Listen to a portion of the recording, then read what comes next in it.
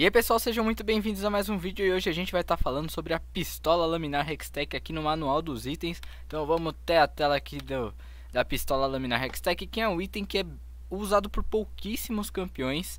E o motivo disso é porque ele é um item híbrido, ele dá AP e dá AD ao mesmo tempo. Ele tem na receita aqui a Alfange das Águas de Sentina, que você também encontra no Rei Destruído, que vai te dar roubo de vida e dano de ataque, e o Revolver Hextech que te dá poder de habilidade, dá um passivinho que vai buffar também seu próximo auto-ataque, e está presente no GLP 800 e também no Proto Cinturão Hextech. E de atributo é bem simples, dá 40 de AD e 80 de AP, só. Só isso os atributos básicos desse item.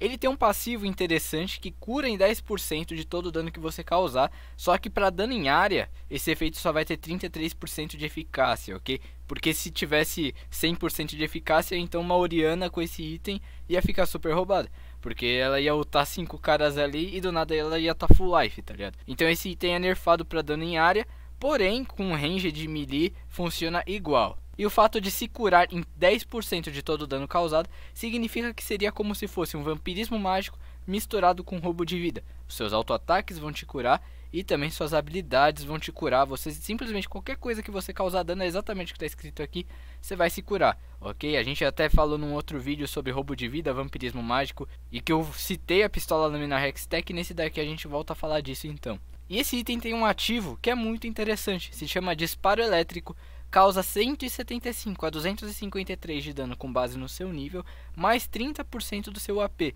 como dano mágico e vai causar redução de velocidade no inimigo por 2 segundos, aí vai reduzir a velocidade dele em 40%. Você basicamente só aperta o número do slot que o item tá, clica em cima do alvo e aí ele vai é, dar o slow no cara. Só que tem acho que 90 segundos de tempo de recarga, eu não coloquei aqui, me perdoa, eu acabei esquecendo de colocar. Se eu não me engano, ele tem um tempo de recarga mais alto do que os outros itens Hextech. Então é um item muito legal, só que ele é bem mais caro também. E ele causa um dano instantâneo muito legal, que é target, é na hora ali você já vai usar e causa também redução de velocidade. Ele é como se fosse uma mistura do Protobelt com o GLP, só que num alvo só, que é na hora ali, você só clicou já vai. Mas então para que, que serve esse item? Ele vai dar um auxílio na hora que você quer alcançar um alvo, porque por exemplo, você usa muito esse item na Catarina. Na verdade, você sempre vai usar para Catarina esse item. O alcance desse item aqui, para você ter ideia, é maior do que o alcance do E da Catarina. Então, muitas vezes vai faltar até um rangezinho para você conseguir alcançar o adversário. Você vai conseguir usar essa pistola, vai dar o slow e vai alcançar. Outro ponto é que às vezes para você conseguir um abate num cara que ficou com um pouquinho a vida, esse item também pode ser interessante, principalmente para Catarina.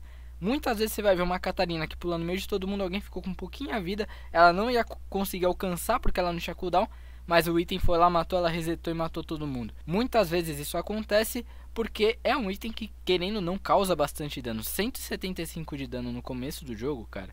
Quando você vai fechar esse item aí por volta dos 15 minutos no máximo, se você tiver forte, 175 de dano é muita coisa para você conseguir burstar alguém, mas 30% do seu AP então é muita coisa mesmo.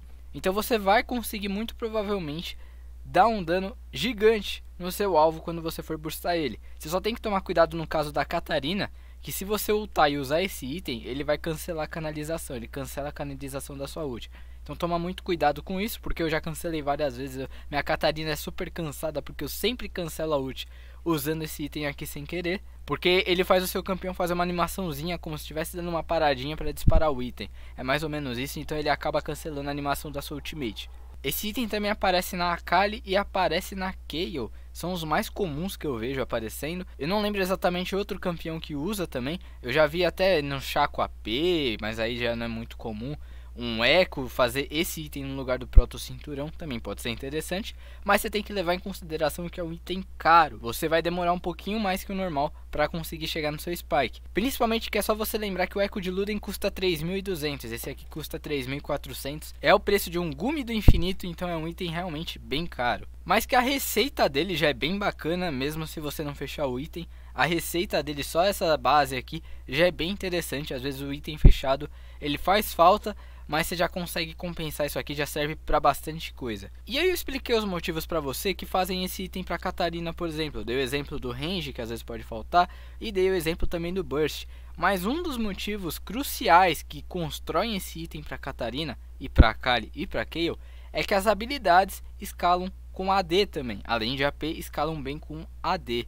Então a Catarina tem AD na passiva, ela tem AD no E, no R.